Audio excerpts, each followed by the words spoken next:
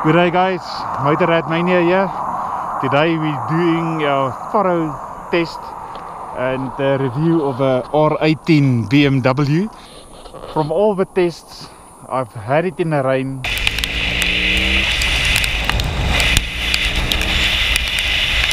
I've had it in traffic.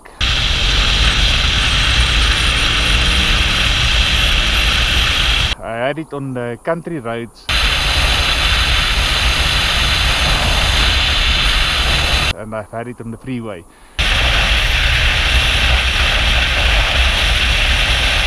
So I basically covered everything. I did 300 kilometers today with this motorcycle and I think I can give a good review of what to expect from this motorbike.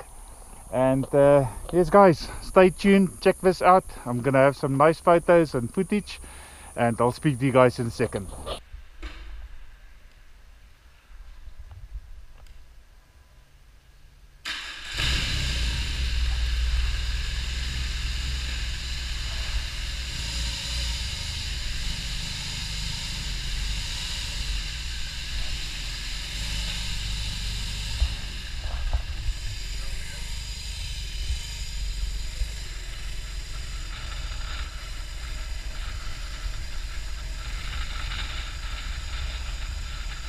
Just wait for my wife so that she can ride in front and then I'll follow her.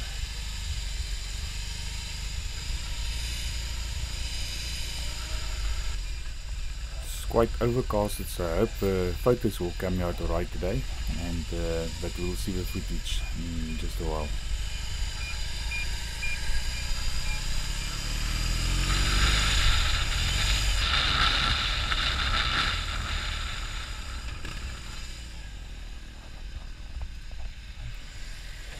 Yes, I think I'm gonna meet my wife where I'm gonna turn off, so I'll, I'll leave her behind now and just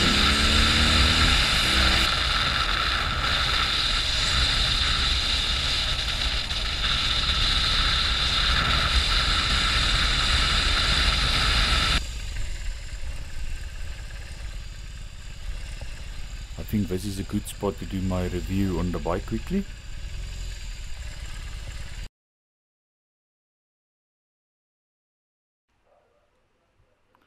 Okay, here comes my wife and I can put my helmet and everything inside the car and get all my camera equipment and then I'm ready to start with my review. Well, good morning people. Isn't this the most exciting news from BMW this year so far? I've been waiting a long time to do a review on the R18 and the day has finally come. I just want to do a special thanks to Jared Voster from Rustenburg Motorrad BMW who gave me the opportunity to do a test on this bike and well today it finally happened. We are here in just outside of Rustenburg. There's a lot of sheep and chickens running around and you can hear the, the farming sounds and uh, yeah guys I'm gonna do a long distance ride with this. I'm gonna do commuting in town as well through the traffic and just to go through some specs on this bike. This bike is uh, 345 ki uh, kilograms. It's an 1800cc boxer motor from BMW. It's the biggest boxer motor that they've ever fitted in a, in a, a motorbike. So this is something quite special and I love boxer motors. This motor produces 91 horsepower. Doesn't sound a lot, but here's where it comes in. It's got 150 newton meters of torque. Now that is insane. That is a lot of torque for a, for a motorbike and you can feel it once you pull away. There's tons and tons of power and um, yeah, you can look your caravan at the back of this bike and it will pull it with a smile. And yeah guys, it's got a six-speed gearbox. Um, the whole bike is built in Berlin. So the Germans did it right with this uh, motorbike of theirs. It's not something that they gave to another country to build. This, the whole bike is being built in Berlin and everywhere there is, uh, it reminds you that it's Berlin built, on the speedo Berlin built. Uh, another nice feature that I like about this bike, your front brake, it, it brakes, the front brakes and the back brake at the same time. Where with your pedal for the back brake, it will only brake your back brake. So yeah, that's quite nice. It's got traction control, ABS, Verwoords. It's got different settings. There's even reverse uh, gear on this. So if you want to park your bike, you can put it in reverse and, and, and it will reverse. Guys, when BMW started to look at this bike four or five years ago, they took the, the R5, a 1936 model, and they did a complete, almost a complete copy of that bike. You will see if you've got the two photos next to each other. It, looks a lot like the R5, it's just much bigger. It's a bigger motor, um, especially for long distance cruising you need a bigger motor. It's got the same teardrop uh, fuel tank. And guys even if you look at the at the shaft drive it's exactly like the R5 it's an open shaft drive. It is beautiful. I'm so glad they did that and they didn't put the housing around this so that you can see that that shaft drive working. It's just um, beautiful it's got uh, fishtail exhausts well that is not everybody's style, but there is an option for, for, for round pipes as well, so you don't have to use the fish uh, the fishtail pipes. Um, there's a lot of chrome, especially with the black. The black color just brings back this retro feeling, you know. And um, I hear there's going to be different options for colors, but black suits this bike 100%, especially with the chrome. And yeah, if you if you look at the, the old style mirrors, and uh, the flickers I've got on guys everything is just well BMW BMW you did an excellent job with this bike. It's got a daylight um, front light so that people can see you while you're driving. Like the cars has got you know the BMW cars and all most of the other cars has got a, a, a daylight light. Now this has also got a daylight uh, light on it uh, you.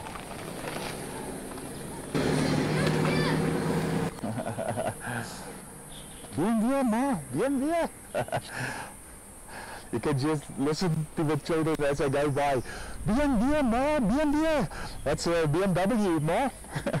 and they're quite excited, just like I am. These guys, uh, I'm gonna start doing um, some riding now. And um, I just want to say this is an excellent product that BMW, that BMW has brought out and it's a true BMW guys. Uh, there's nothing of a copy from any other from any other manufacturer. This is BMW, BMW boxer motor, decent and the best of all, built in Germany. When I say built in Germany, I mean you can't beat German engineering. That's the best.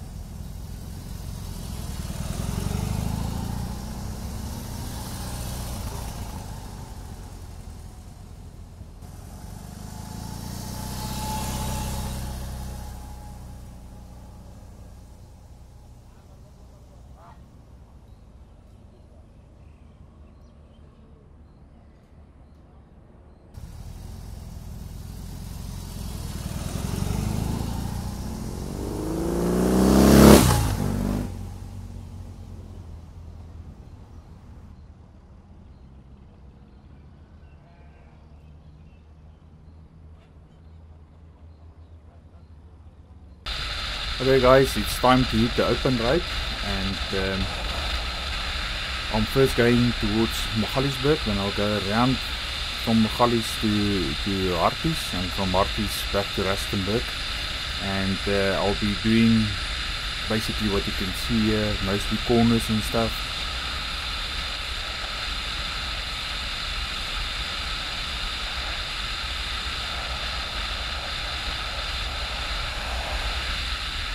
And I'm just checking out what this bike will give me um, towards stopping. So this is just a, and I can tell you guys now, this isn't a slow bike. Not from pull away, not in top end, it moves.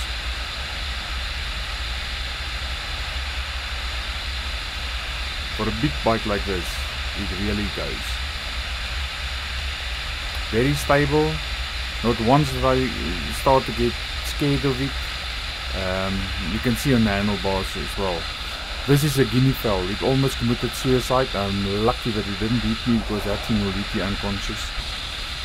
And um, yeah, you can see it's just a beautiful day for, for cruising on a cruiser.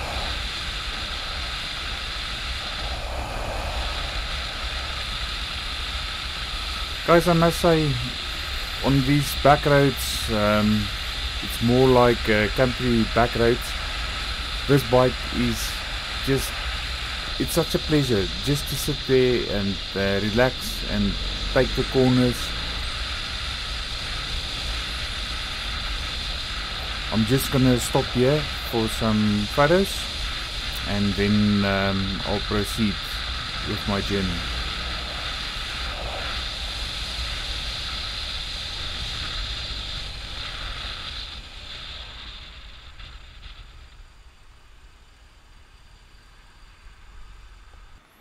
My little top pocket camera.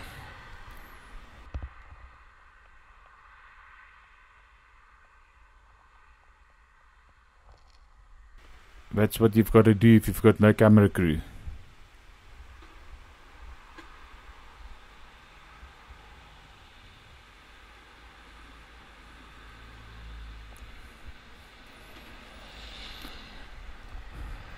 Quick free photos and then I'm off again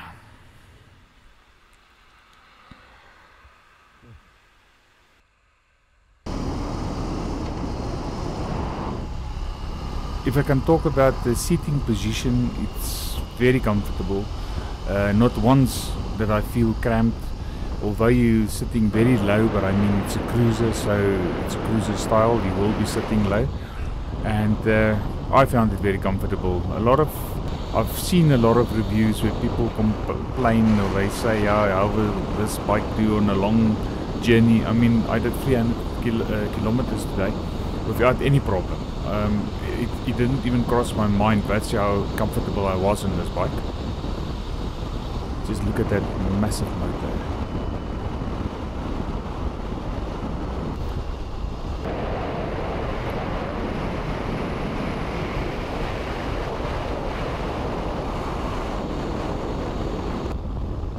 That's the cockpit view.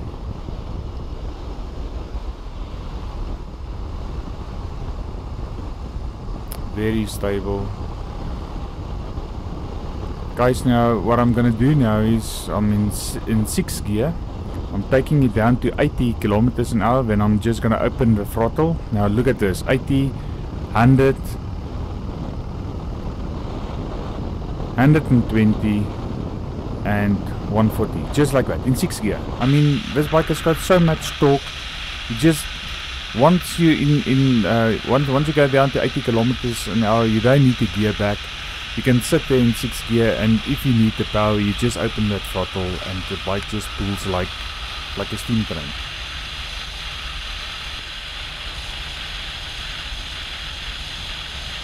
These back roads are so nice to ride with a motorbike.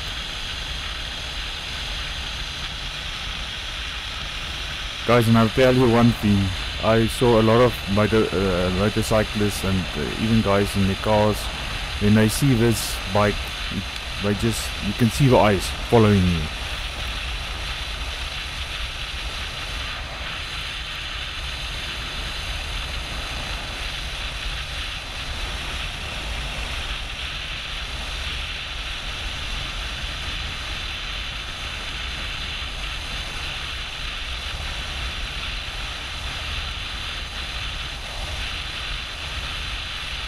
just see how this bike handles all these little dips in the ride.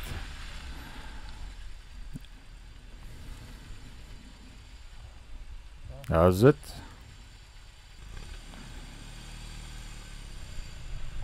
I'll quickly stop here as well for a nice photo shoot. Guys, just look at this mat. This is gonna give me such nice reflection, so I'm just gonna stop in the mat here and uh, quickly pull out my SLR and take some decent photos. Perfect.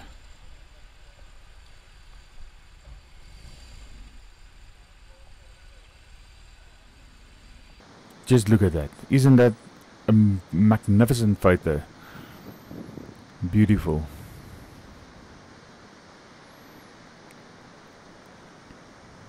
There was a guy on the GS1250. I asked him to take a couple of photos there. He's on the right hand side. And um, he quickly helped me out to take a photo with me standing next to the R18.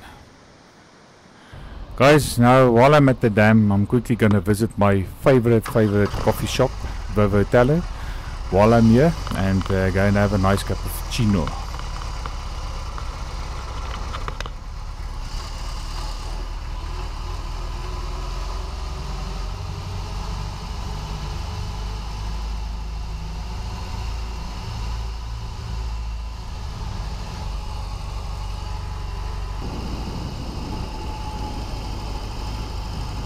Have had this bike come uh, this coming Sunday to come to the dam. I would have been the main attraction on on this bike.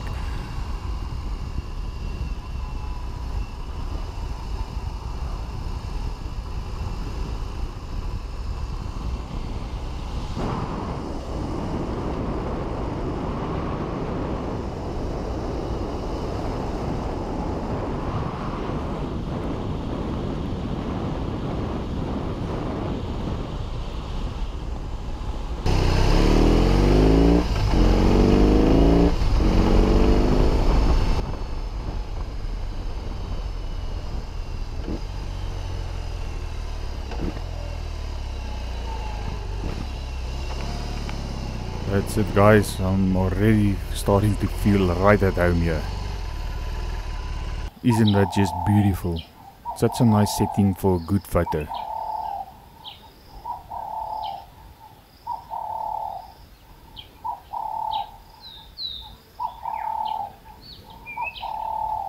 Oh, just look at that nice cup of chino. Beautiful.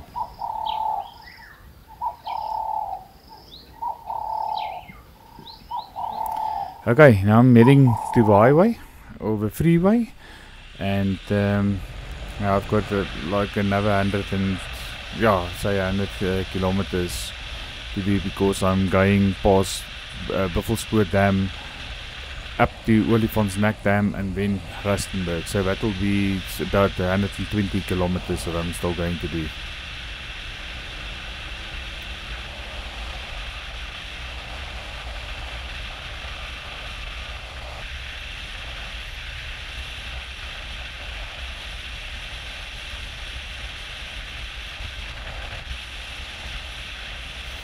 I'm feeling much less wind where I normally would on my R90 because I'm sitting much lower on this uh, R18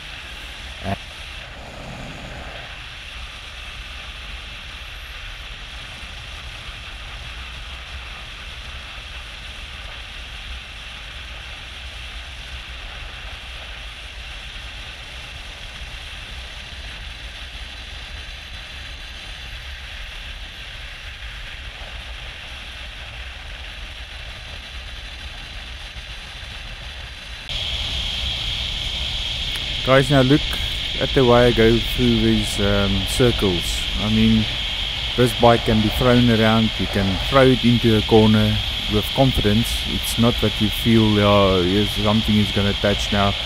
Um, you'll see when I go through the corners, you can carry quite a bit of speed through these corners. And it handles perfectly well. Through the traffic as well.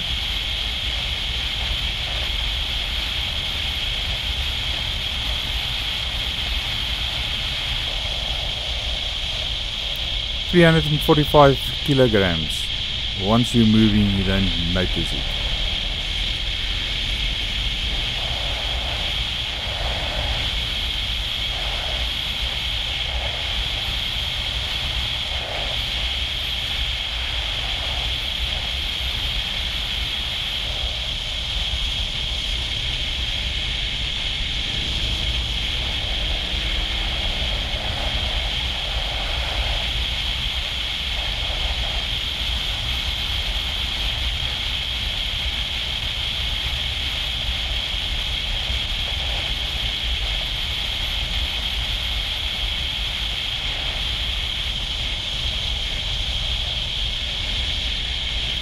Guys, that was quite some nice fun.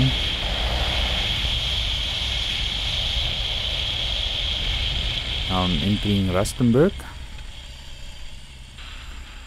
Just quickly work my way through the traffic here. Guys, there's one thing you have to remember, this motor is very wide.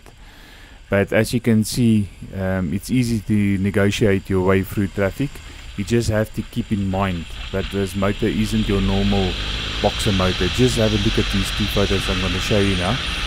This one is where I stopped at Buffelspoort Dam. Now look at the back. Isn't that just the most beautiful view? But look how wide that motor is. So that's one thing you have to keep in mind is when you go through traffic. Don't misjudge yourself. Um, but like I say, luckily if, if you're used to boxer motors, you just have to give a little bit more space. But it's easy to, to negotiate your way through traffic.